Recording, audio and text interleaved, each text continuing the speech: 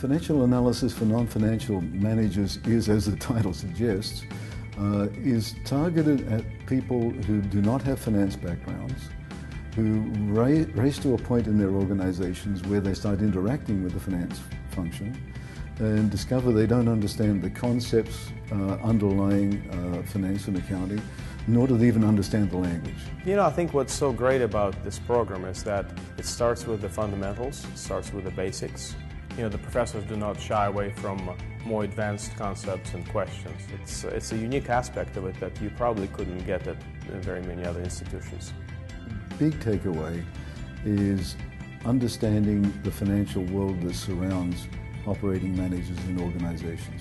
Other major takeaways are the, just simply uh, developing a better sense of strategy around their organizations, what their role is, and a better sense of where they fit in the organizations they're in. And so it broadens people's thinking processes very considerably.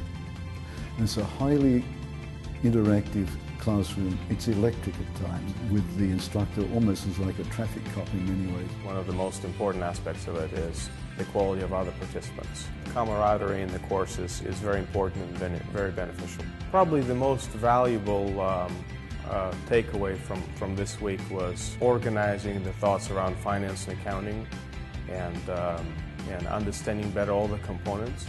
I will ask better questions of my analysts. You know, I'm not a finance manager, I'm not an accountant.